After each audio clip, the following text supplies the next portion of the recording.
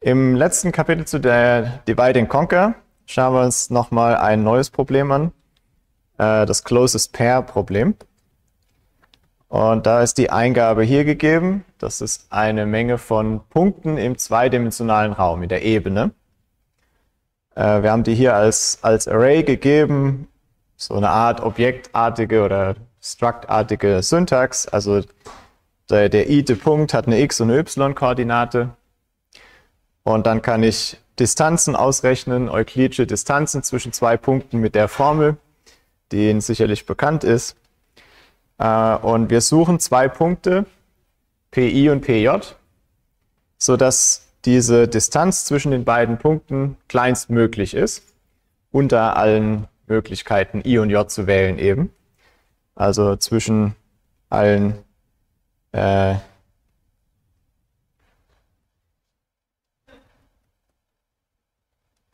I und J, die zwischen 0 und N liegen, exklusive. Und natürlich nicht der gleiche. I darf nicht gleich J sein.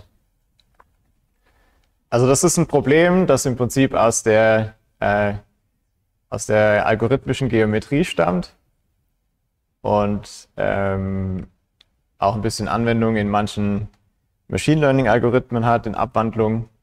Aber hier greifen wir es einfach als Beispiel raus für, für Divide-and-Conquer-Algorithmen.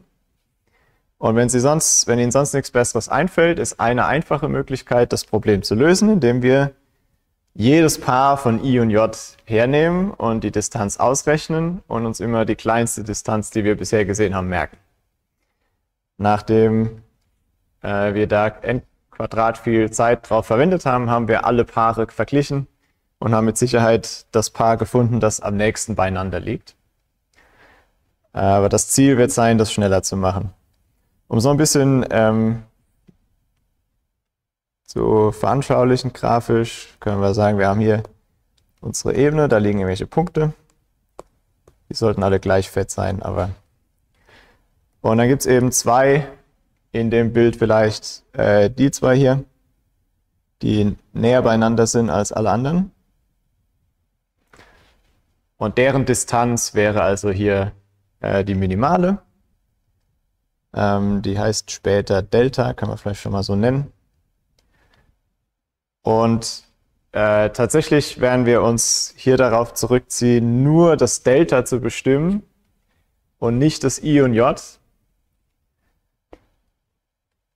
Wir werden aber sehen, dass das äh, in den allen Lösungen, die wir hier so uns überlegen, tatsächlich keinen Unterschied macht.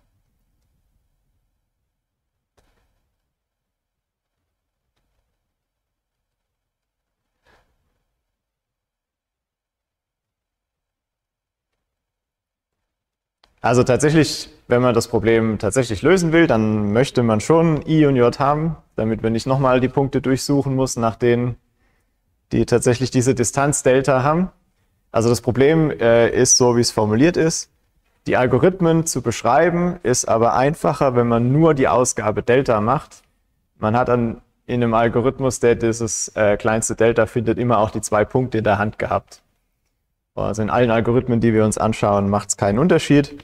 Aber es ist ein bisschen kompakter zu beschreiben, wenn man nur die Distanz zurückgibt, statt auch die beiden Punkte sich merken zu müssen.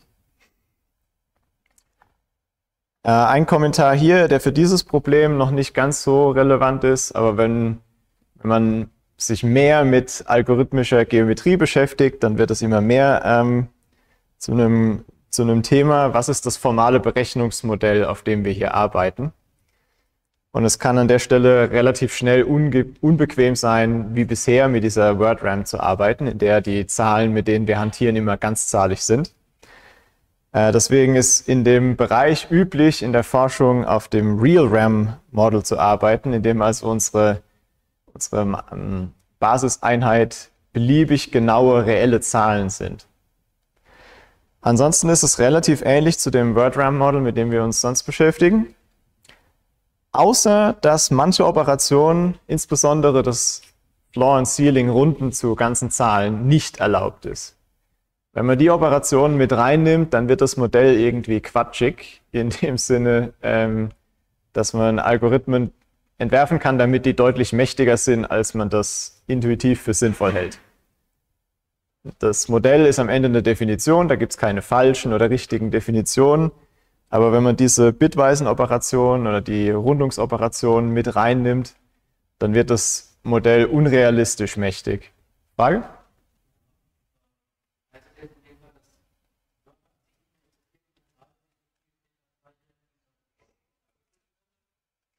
Ja, die Frage war also, ob es so sowas wie Wörter hier noch gibt oder dass diese Wortbreite W auch. Ähm, und tatsächlich gibt es das hier nicht. Also es ist beliebig genau und auch unrealistisch, die Annahme. Man kann natürlich sowas simulieren mit beliebig genauen Zahlen rechnen, also nicht unendlich genau, sondern so genau wie nötig. Das ist ja nicht das Gleiche. Äh, das würde aber trotzdem dann auch Zeit kosten. Also es ist hier eine Vereinfachung für die Theorie. Ja?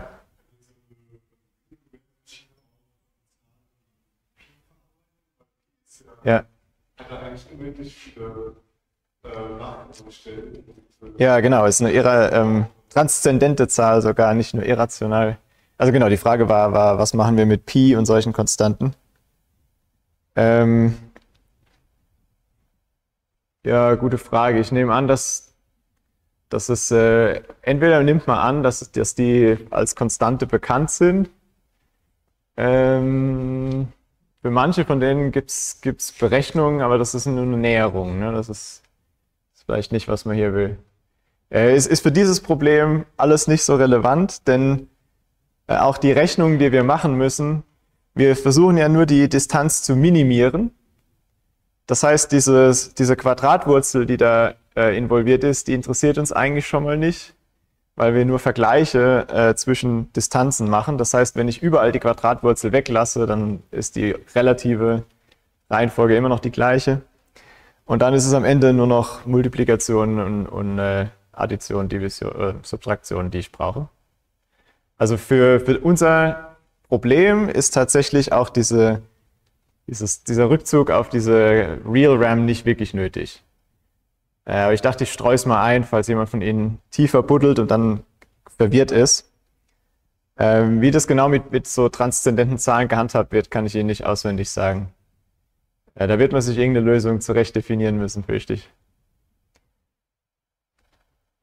Also wir benutzen es hier einfach nur als faule Ausrede, um die Genauigkeit von äh, Gleitkommazahlen zu ignorieren. Die wäre auch hier wiederum kein Riesenthema, aber ich will darüber eigentlich nicht viel mehr reden. Stattdessen zählen wir einfach die Anzahl Rechenoperationen. Und insbesondere das Auswerten von Delta, also die Distanz berechnen zwischen zwei gegebenen Punkten, ist halt eine Handvoll Operationen, drei Additionen und äh, zwei Produkte oder sowas in der Art, eine konstante Anzahl Rechenoperationen.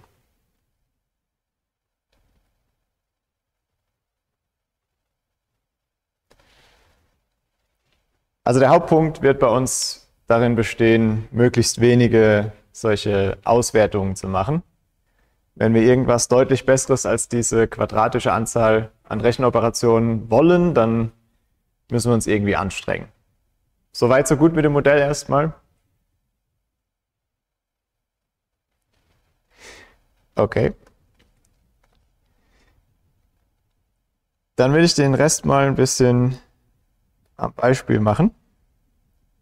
Also ich generiere mal eine zufällige Eingabe. Mehr oder minder.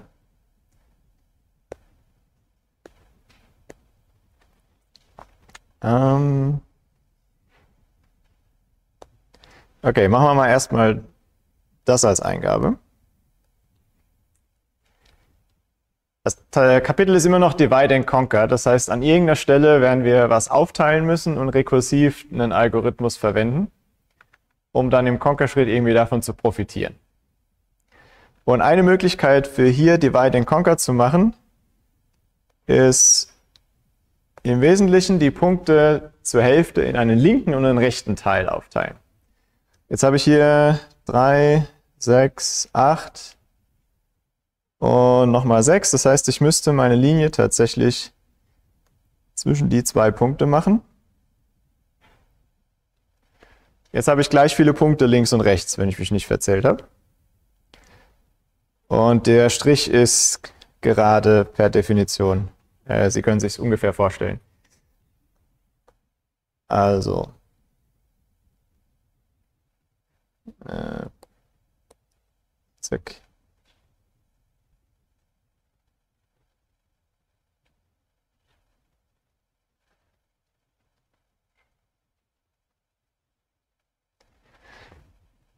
Wenn man das in algorithmische Begriffe gießen will, was ich hier getan habe, die Punkte so aufteilen oder so eine, eine gestrichelte Linie durch die Eingabe ziehen, dass die Hälfte der Punkte links und rechts sind, dann ist das im Prinzip das gleiche wie den Median der x-Koordinaten zu bestimmen und dann die Linie an diesem Punkt oder ein bisschen links oder rechts davon zu ziehen. Und wie wir den Median bestimmen, das haben wir äh, am Anfang dieses Kapitels besprochen. Das war diese Quick Select oder wenn Sie es in äh, Worst Case Linearzeit wollen mit dem Median of Medians Algorithm.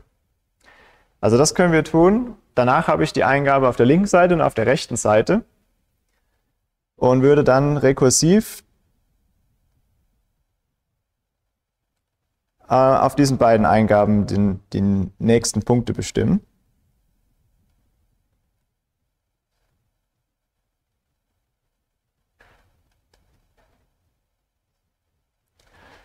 Das heißt, ich kriege auf der linken Seite irgendein, irgendein Delta und auf der rechten Seite, ja, wahrscheinlich die hier,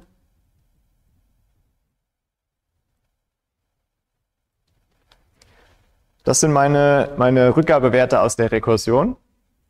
Und jetzt ist die Frage, wie finde ich mit Hilfe von diesen rekursiven Werten das Punktepaar, das insgesamt am nächsten liegt. Und für diesen dritten Schritt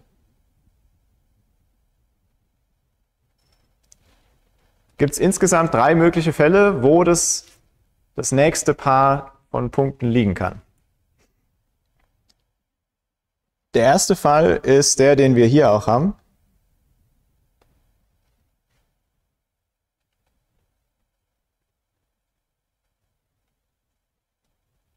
dass beide Punkte von diesem nächstgelegenen Paar auf der linken Seite sind. Dann habe ich deren Abstand rekursiv schon berechnet und weiß schon alles. Symmetrisch kann natürlich das gleiche auf der rechten Seite passieren. Dann wären es eben die beide. Wie unterscheide ich die beiden Fälle? Naja, ich vergleiche eben die Rückgabewerte Delta. Das ist der einfache Teil.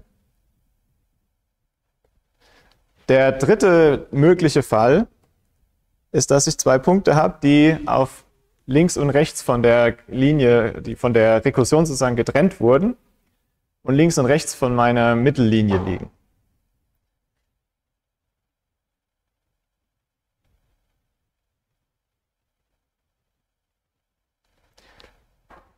Also die sozusagen irgendwie so gegrätscht über, die, über diese Mittellinie stehen. Und für die habe ich natürlich gar keine Distanz berechnet. Also weiß ich theoretisch in diesem Fall C, ich weiß nicht, welcher von den drei Fällen gilt. Ich kann zwischen A und B direkt unterscheiden, aber ob Fall C eintritt oder eins von A und B, weiß ich bisher noch nicht. Also müssen wir noch ein bisschen Arbeit investieren, um das rauszukriegen.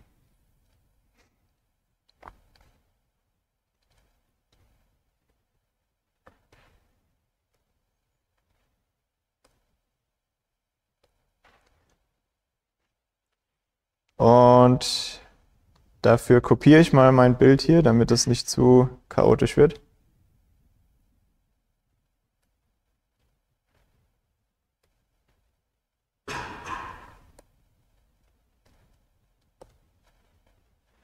So, für diesen dritten Fall müssten wir jetzt irgendwie alle Punkte auf der linken Seite mit allen Punkten auf der rechten Seite vergleichen. Dann wüssten wir definitiv, was die äh, die kleinste Distanz von diesen blauen Punkten ist. Ich nenne das mal Delta S für Straddle. Aber das wiederum ist teuer. Das wäre im Wesentlichen n halbe links, n halbe rechts. Das sind wieder quadratisch viele Paare. Das wollen wir also gerade nicht machen. Im optischen Bild hier ist klar, da gibt es so Punkte hier, der liegt viel weiter von der Linie weg als der hier, also wird der wahrscheinlich nie irgendwie relevant werden. Aber so ganz, ähm, so ganz klar ist es nicht, wenn die alle hier irgendwie nah an der Linie liegen. Eine Worst-Case-Eingabe könnte ja viele Punkte da haben. Ist also nicht so ganz klar, wie wir das im Allgemeinen machen können.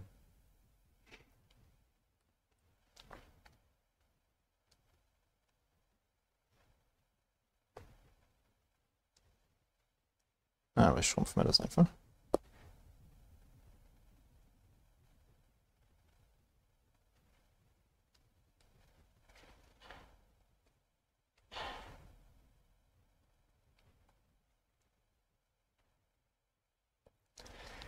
Also erste Beobachtung, manche Punkte kann ich tatsächlich direkt ausschließen, wenn ich nämlich die Rückgabewerte von meinen rekursiven Aufrufen benutze. Also wenn es hier zum Beispiel hypothetisch Punkte gäbe, die ganz nah hier an der Linie liegen,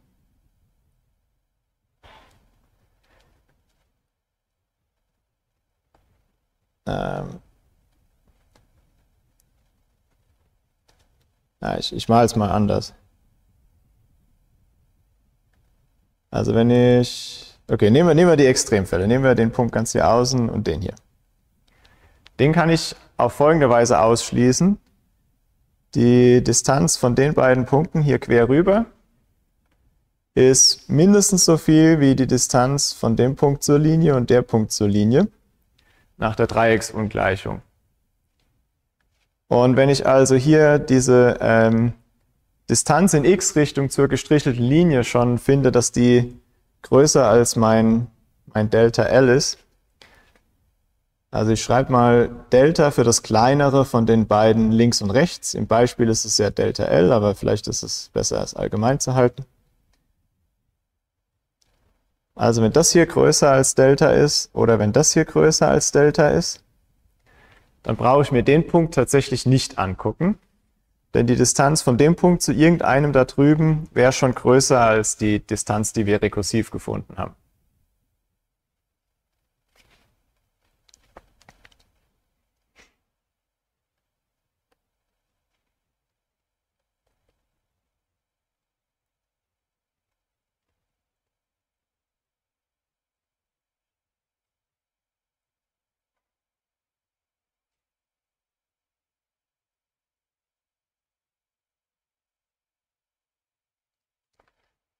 Also damit können wir erstmal Punkte ausschließen. Ja? Nochmal alle ganz.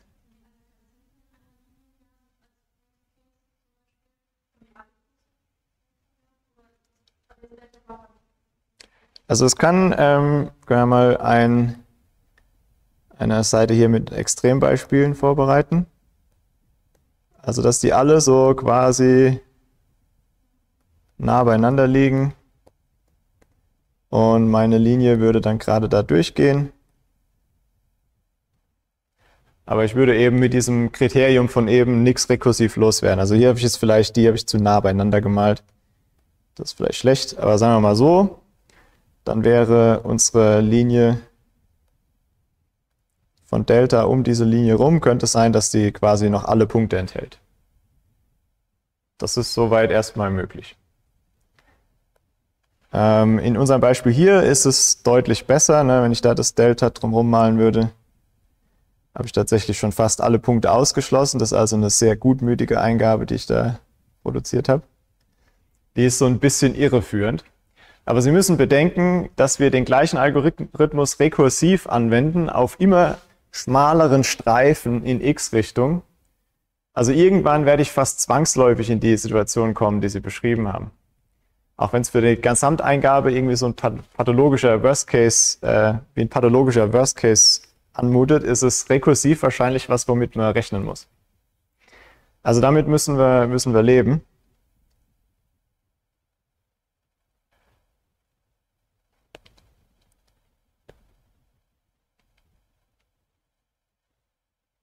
Ah, okay, ich habe noch hier den gestrichelte Linie an.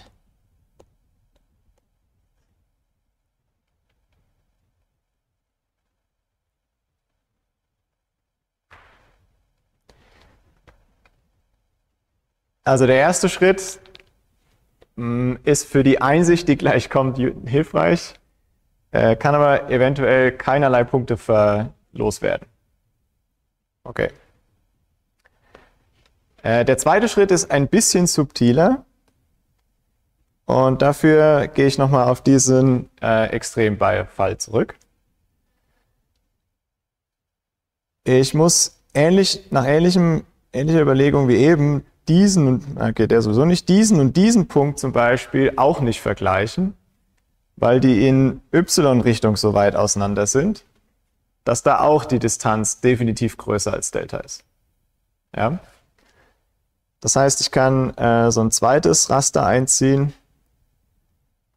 Wenn ich den Punkt hier als, als einen Kandidaten, ähm, der ist so weit oben, das ist irgendwie doof. Lassen Sie mich den mal hier hierhin bewegen. Gleiches Argument. Also das ist definitiv größer als Delta, weil einfach die y-Richtung schon so groß ist. Was heißt das genauer, wenn ich ähm, einen Punkt hier festhalte? Dann können Punkte, die zudem eine gewisse Distanz haben, auch in y-Richtung nicht mehr als Delta weit weg sein. Also wir hätten hier Delta und hier nach oben und nach unten auch höchstens Delta.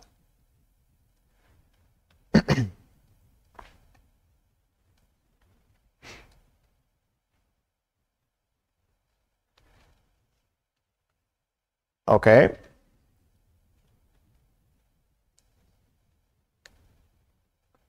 Der nächste Schritt ist jetzt, sich zu überlegen, wie viele Punkte kann ein Punkt hier als Partner haben zum Vergleichen.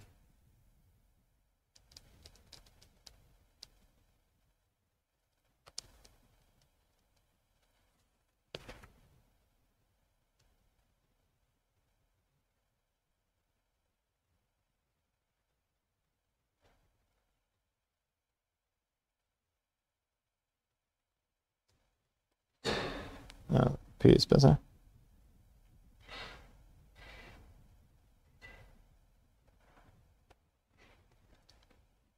Und dafür ähm, male ich das Bild nochmal.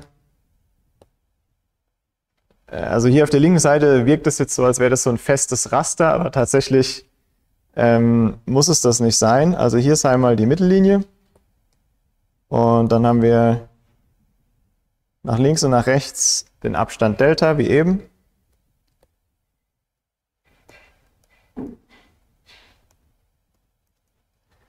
Und wenn ich jetzt einen Punkt P mir hier auf der Seite anschaue,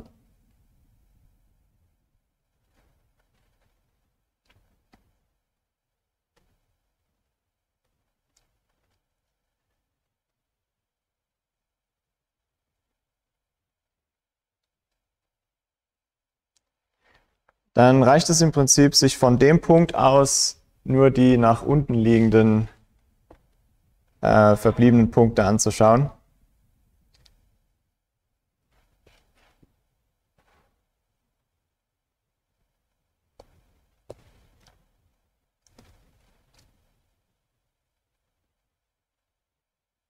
Das stimmt so nicht. Ich muss alle links mit rechts vergleichen.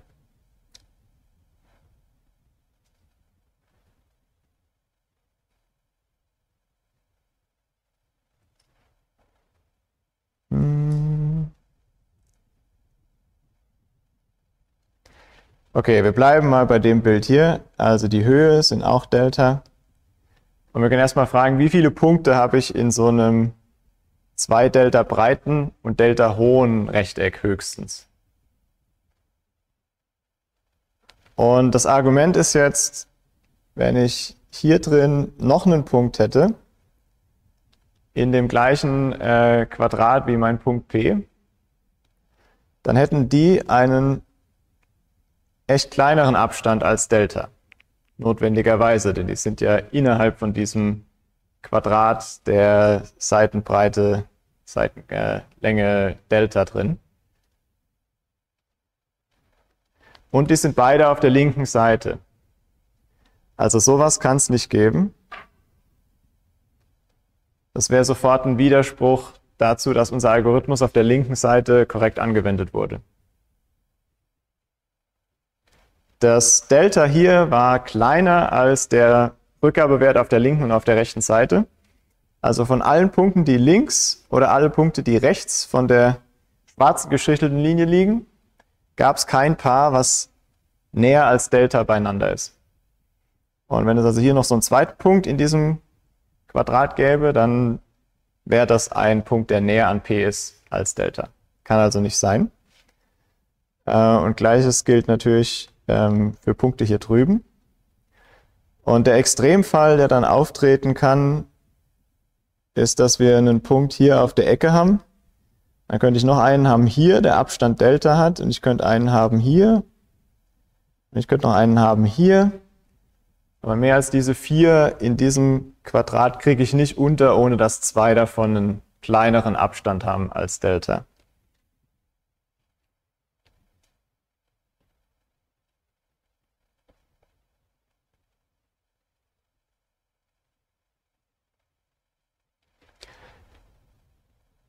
Im Extremfall habe ich auf diesem rechten Quadrat auch vier Punkte und das habe ich hier sozusagen einen, einen zweiten hinten dran, der auf der gleichen Stelle liegt.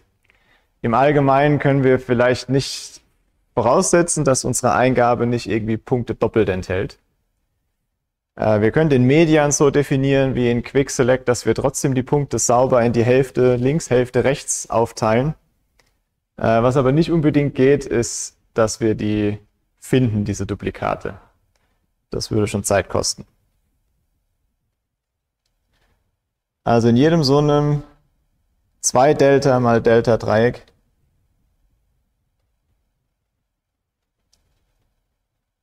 habe ich höchstens 8 Punkte. Ja. Worst case. Ja, nicht Water Closet.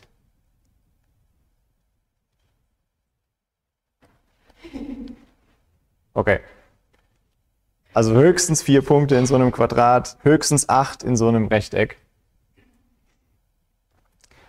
Und das heißt eben auch, dass ich jeden Punkt mit höchstens so vielen Punkten vergleichen muss. Okay. Das war jetzt alles noch sehr in Bildern gesprochen. Wie können wir daraus jetzt ähm, algorithmisch Kapital schlagen?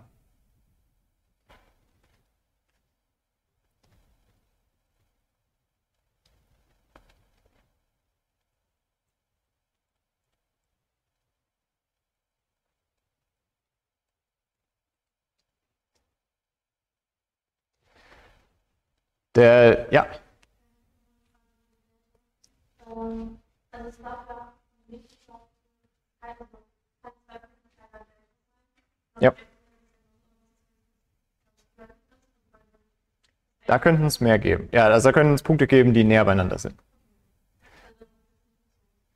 Genau, also hier in diesem Extrembeispiel müssen Sie sich irgendwie so zwei Punkte übereinander vorstellen. Und die hätten ja dann Abstand 0 oder, oder nah bei 0.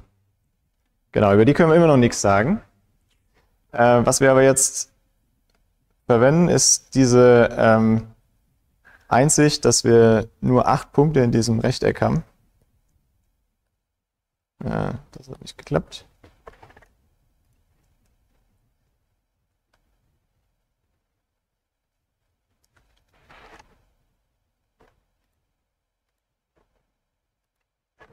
Oh, ich darf nicht kopieren. Ja, das habe ich alles fett gemacht, das war nicht der Plan.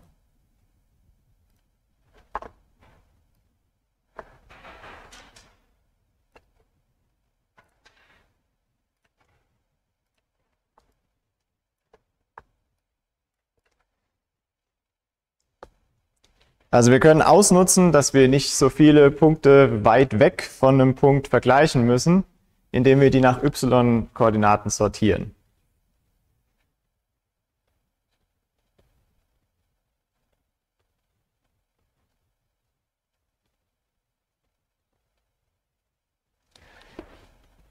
Und was wir dann haben, ist sowas wie eine, so eine Art Merge-Prozedur. Ähm, wir gehen die wir gehen die Punkte in y-Richtung durch und für jeden Punkt schaue ich eine gewisse Anzahl Punkte nach unten in die Zukunft sozusagen. Und da muss ich aber eben nur acht Punkte in die Zukunft schauen. wenn ich einen, Punkt habe, der neun Positionen weiter weg von mir ist in y-Richtung, dann ist er notwendigerweise mindestens Delta in y-Richtung von mir weg.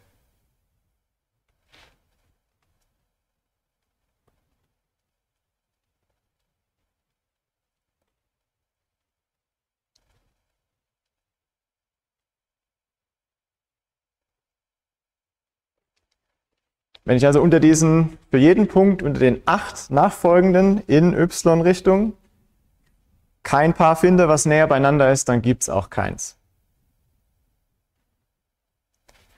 Äh, das erklärt jetzt auch meine Verwirrung von vorhin. Kann ich hier vielleicht nochmal auflösen. Es kann für einen Punkt ähm, sowohl acht vor ihm als auch acht nach ihm geben, die potenziell Distanz höchstens Delta haben. Aber wenn ich für jeden Punkt acht nach vorne gucke, dann habe ich für den Punkt von allen acht Vorgängern schon auf ihn geguckt. Ich muss es nur in eine Richtung machen. Und deswegen reicht es quasi nach unten zu schauen von jedem Punkt. Nach vorne in Y-Richtung. Okay?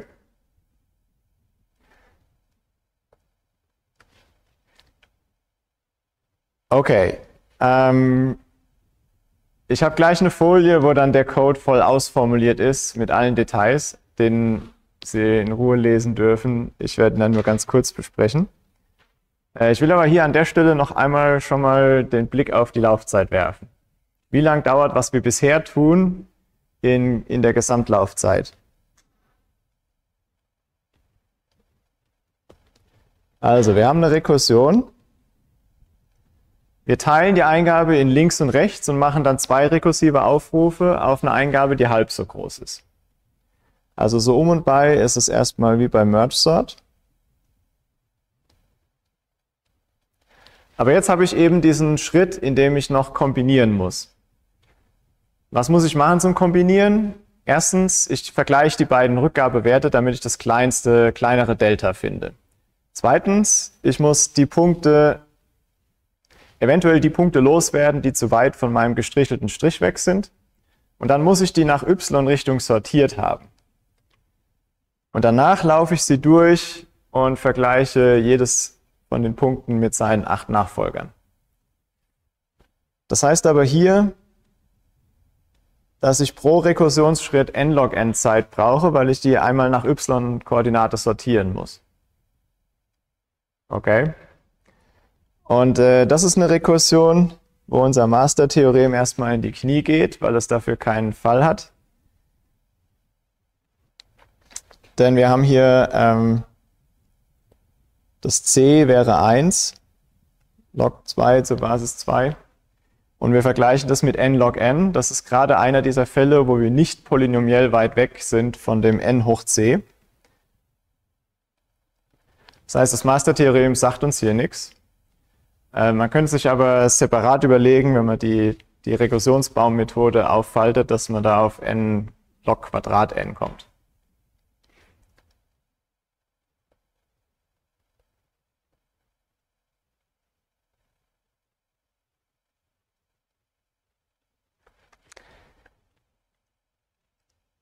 Und an der Stelle könnte man zufrieden sein und sagen, okay, ist trotzdem viel besser als n Quadrat. Man kann aber diesen Sortieren-Schritt tatsächlich loswerden.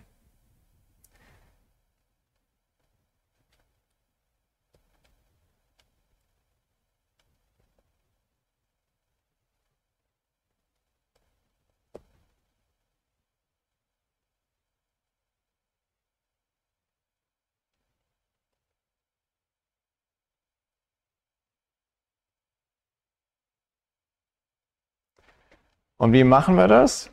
Indem wir am Anfang einmal die Punkte sortieren und uns die, die Punkte in sortierter Reihenfolge beibehalten, wenn wir sie auf die linke und rechte Liste aufteilen.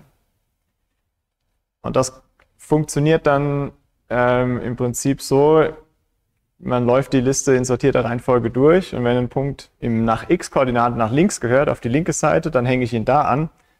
Wenn er nach rechts gehört, hänge ich ihn da an. Wenn ich das einfach in, in der Reihenfolge mache, dann bleiben die Punkte nach x, nach y-Richtung sortiert. Und man kann das dann auch noch nach x-Richtung machen, dann kann man sich auch den Median-Algorithmus sparen. Und das ist dann der, der komplette Code. Äh, ein bisschen mehr Text als bei den meisten Algorithmen, die wir hatten. Deswegen ein bisschen mehr Bildchen vorab. Wir haben einen Abbruchpunkt. Wenn ich nur zwei oder drei Punkte habe, dann mache ich Brute Force. Dann gucke ich alle Paare durch. Ansonsten, ich nehme an, dass ich die Punkte sowohl in x- als auch in y-Richtung sortiert bekomme. Ähm, was wir hier im Detail haben, ist, ich habe die, ein Array für meine Punkte. Das war die Eingabe. Und dann habe ich zwei weitere Arrays, die mir Indizes geben in dieses Array, wo die Punkte drin stehen. Sodass, wenn ich diese Indizes verwende, die sortiert sind nach x bzw. y-Koordinate. Gibt auch andere Möglichkeiten, wie Sie das umsetzen können, aber das, so ist relativ bequem zu programmieren. Dann ist dieser erste Schritt nach x nach in links und rechts aufteilen. Ist relativ einfach. Ich scha schaue mir den Median, kriege ich einfach, indem ich in den mittleren Punkt gucke in meiner ähm, nach x sortierten, ähm, in meinem nach x sortierten Array. Dann ist das ähm, Das ist der Punkt, der, das soll k sein, nehme ich an.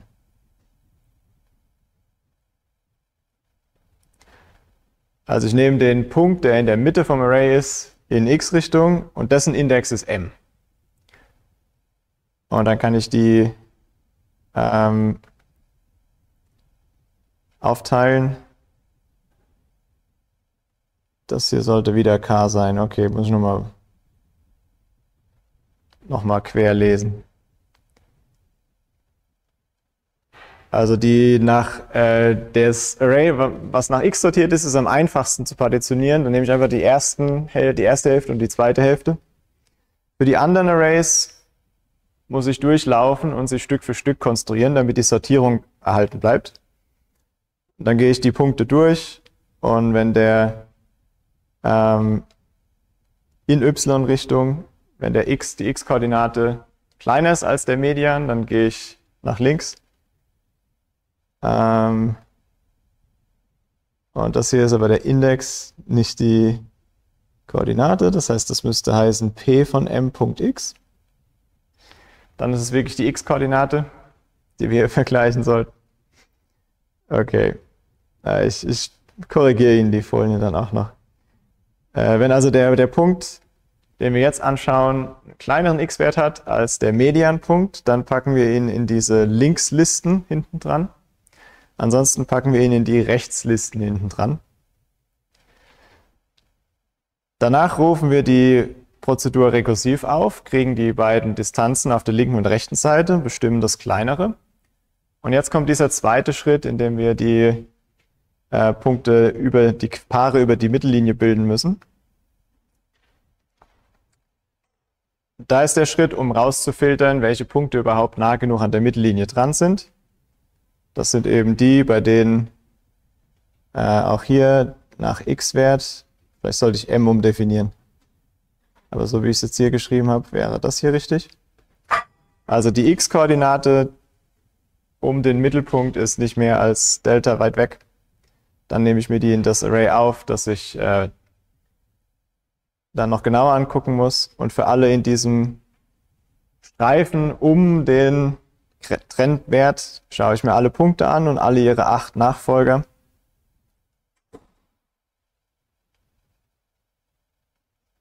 Vielleicht muss ich hier bis 8 gehen. Ja, okay, es sind acht aufeinanderfolgende Punkte. Also, wo ich immer vorhin gesagt habe, ihre acht Nachfolger waren es eigentlich nur sieben. Weil der achte wäre schon eins zu weit weg. Ich glaube, das ist richtig so. Ausnahmsweise. Und für die bestimme ich dann die Distanz. Und die Distanz, die ich dann gefunden habe, das hier ist immer die kleinste aus entweder der rekursiven oder was ich bisher zwischen den Paaren gefunden habe. Wenn Sie sich den Code nochmal genau angucken, dann sehen Sie auch überall, wo wir jetzt die, die kleinste Distanz bestimmen, hätten wir uns auch merken können, welche zwei Punkte die Distanz gegeben haben. Die Informationen waren an jeder Stelle da, aber das überall durchzuschleifen macht den Code noch schwerer lesbar. Gut. Okay, abgesehen von diesem ähm, Tippfehler mit, mit M, ist das der Code. Ja?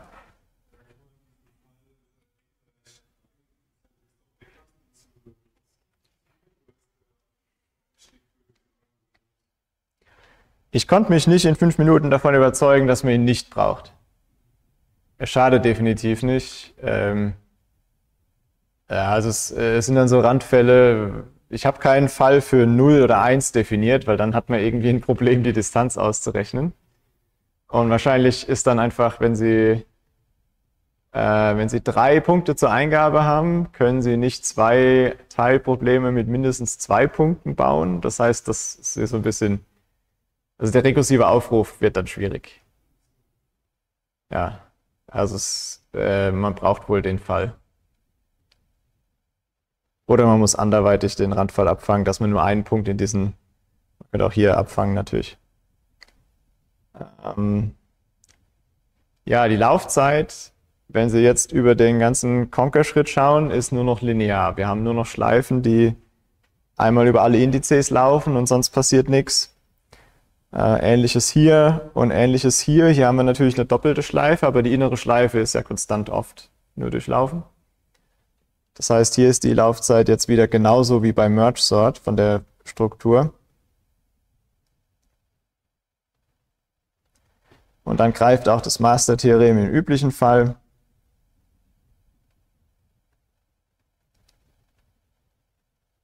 Und gibt uns eben das n log n, was jetzt hier auch das, das Beste ist, was mir bekannt ist.